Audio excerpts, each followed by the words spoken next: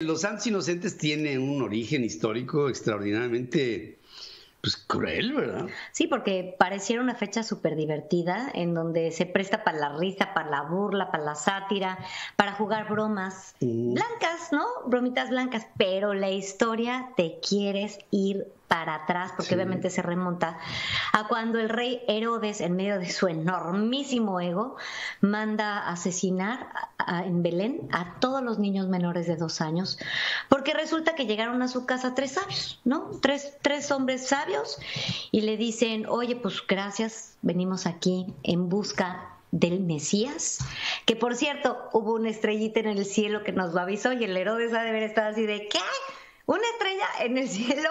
O sea, yo soy el rey de los judíos, yo soy el importante y pues resulta que había un niño más importante que él que estaba naciendo y el mismísimo firmamento anunciaba su llegada. Entonces, él se puso de acuerdo con los, con los tres sabios y a los tres sabios les dijo, mira, ay, cuando des tú con el paradero del bebé, me avisas pues lo vamos a visitar, ¿no? Como villana de novela. Como para rendirle pleitesía, ¿no? Como para, para rendirle honores. Aparentaba. Aparentaba. Ante los, ante los Reyes Magos. Exactamente. Que todavía por ahí una duda si eran tres o cuatro, pero en fin, es otra historia. Eh, eh, y también hay una duda de la fecha exacta del sí, ¿no? o sea, hay un rollo y porque si el eclipse. En realidad. Bueno, hay una duda no solamente de la fecha, sino hasta del año. Del año. Hay, un, hay una diferencia hasta de seis. Sí. No, es, una es una locura. Pero bueno, todo esto es. Eh, Herodes se vuelve loco. No regresaron los sabios para decirle, oye, pues pásalo a ver aquí al circuito, ¿no? No le dijeron, y entonces él dijo, pues más fácil, voy a mandar matar a todos, los, niños que están en Belén, que sean menores a dos años y hubo una masacre, un genocidio espantoso, un 28, un día como hoy, ¿no? Eh, y justamente si, si Jesús nace el 24, pues 25, 27, 28, no espero más que cuatro días, no regresaron los, los reyes y pues manda a matar a todo el mundo. Y, y, y obviamente hay un tema de sincretismo importante en la historia, en donde todas las costumbres paganas y las, la iglesia, cuando Constantino I empieza a, pues a empalmar lo, pagano con, lo cristiano, ahí es cuando viene la confusión de este día de, del Fu, en Francia se dice, eh, o sea, bueno, de hecho queda registrado en un libro de Víctor Hugo, en que la señora de Notre Dame, este carnaval en donde celebraban a los locos, en donde la gente se permitía volverse locos en las calles y tomaban, veneraban a Dionisio y también veneraban a, Afrodita. Y era un día de, completa locura en donde la gente salía a, pues primero a sentirse... A desenfrenarse. Sí, a sacar toda la, toda la energía, ¿no?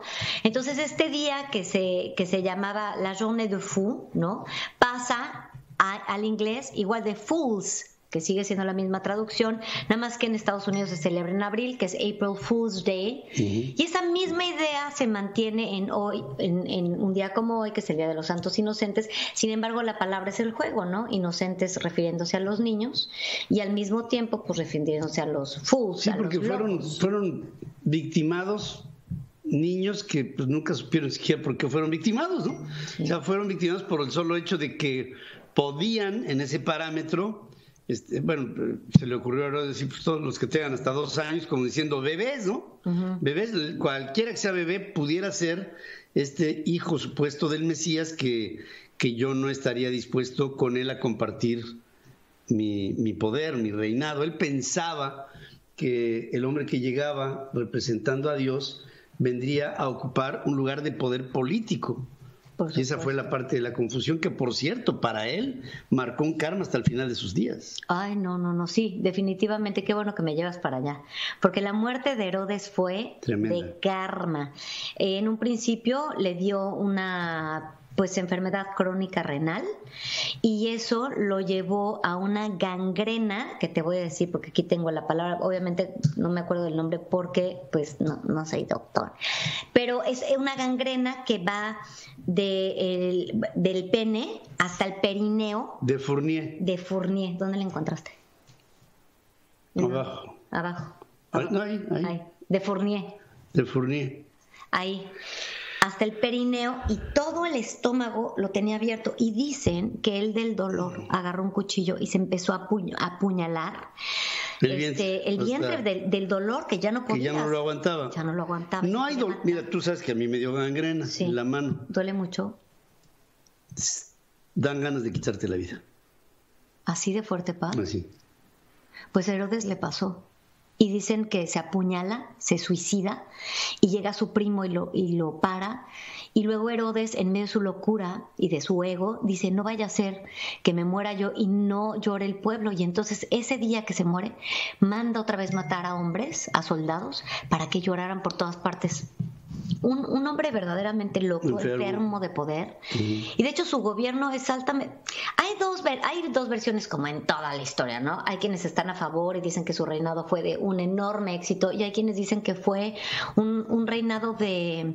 De decadencia de total decadencia. Sí, total decadencia, porque bueno, yo, yo no sé cómo puede alguien favorecer a lo que fue el, el, ejercicio del poder de Herodes, pero Herodes fue, es hoy por hoy uno de los ejemplos que la historia nos ha legado de lo que puede hacer un hombre en el poder, en su locura de, de, de, de no entender, en primer lugar, fíjate, yo creo que en la vida hay que entender cosas que que, tienen un plazo perentorio. Todo en la vida tiene un plazo perentorio. La felicidad tiene un plazo perentorio, que puede, puede ser y después dejar de ser y volver a ser. Pero lo que te quiero decir con esto es que la vida no es pareja. La vida tiene altas y bajas y lo que tiene uno que aprender en la vida es a lidiar con las altas y con las bajas para promediar en, un nivel en el que ni pierdas todo ni ganes todo, sino que mantengas un equilibrio.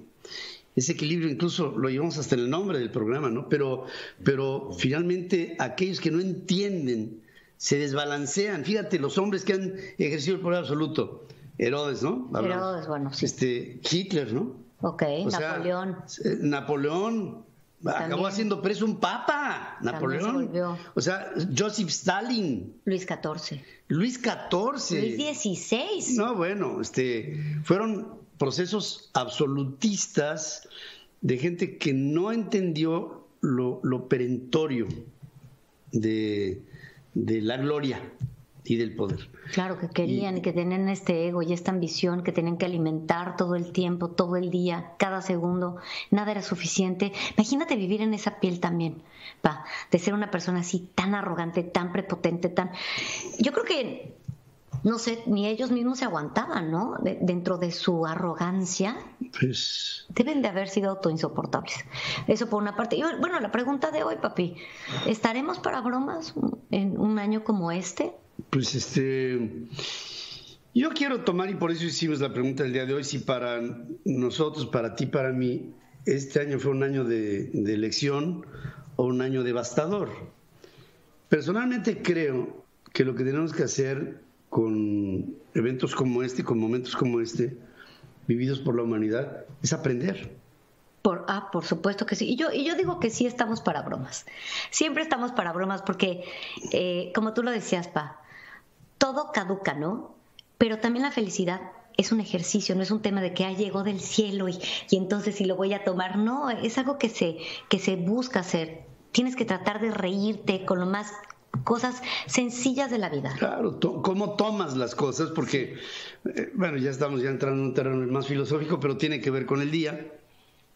La felicidad no es un destino, la felicidad es un camino, un camino. en donde todo lo que vas encontrando en el camino puede ser visto de dos maneras, eh, en términos positivos o, lamentarte de que qué horror.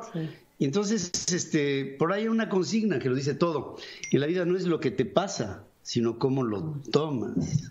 Lo que haces con lo que te pasa, ¿no? Sí, cómo, tomas lo que, lo que te sucede, porque pues lo puedes ver. Bueno, hasta la muerte la tienes que aprender a tomar con el sentido mismo que tiene la muerte como tal, ¿no?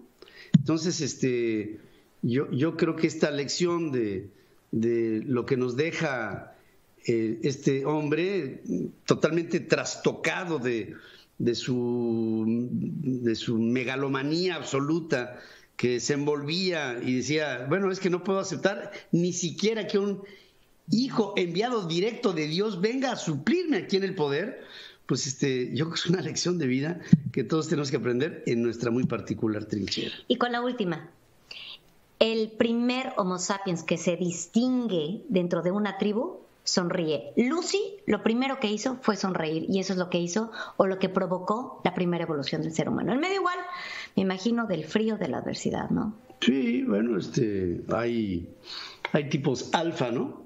Sí. Este, hombres o mujeres que, que son como los líderes de un rebaño. Nada más que un líder de un rebaño no puede tener un principio tan, tan discriminatorio que decir o yo o nadie. Ahí está la, la base de, de, lo que tendría que ser la grandeza de las personas que, por lo que tú quieras, circunstancia la que sea, les ha caído encima el poder. Porque el poder hay que tomarlo, es como una estafeta el poder. El poder es, tomas el poder, lo llevas un tramo y después lo legas. El que no sabe legar el poder, entonces el destino se lo arrebata y es mucho peor. ¿eh? Ah, uh, uh. Tremendamente peor. Bueno, como nice. dirían, más peor. Más peor. Más ¿Está peor? Pues feliz peor. Día de los Santos Inocentes. Bueno, pues feliz Día de los Santos Inocentes y, y sí, este es un día para recordar. O sea, no preste nada, inocente palomita, que te, que dejaste, te dejaste engañar, engañar, sabiendo que en este día nada se puede prestar. prestar.